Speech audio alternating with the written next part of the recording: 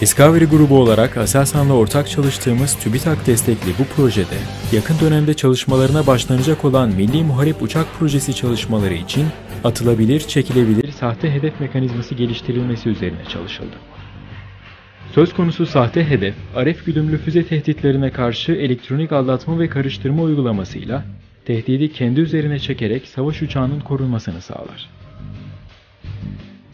Proje kapsamında geliştirilen mekanizmayla 5 kilogram ağırlığında bir faydalı yükün tehlike anında 10 saniye süre içerisinde uçaktan 180 metre uzağa fiber optik kabloyla atılması, tehlike atlatıldıktan sonra da geri çekilmesi hedeflenmektedir.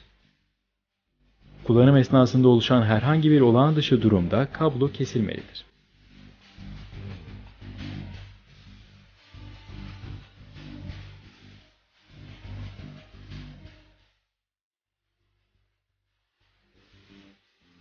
Bir uçuşta birden fazla kez kullanılabilecek olan mekanizma genel olarak 3 alt sistemden oluşmaktadır.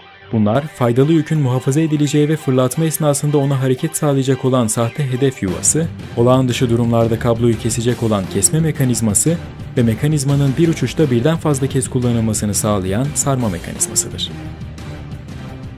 Mekanizma, sahte hedefe bağlı fiberoptik kablonun düzgün bir şekilde sarılması ve ihtiyaç halinde salınmasını motorun ileri ve geri yönlü hareketleriyle sağlamaktadır. Prototip üretimi tamamlanan proje, uçağa uygun biçimde tasarlanacak.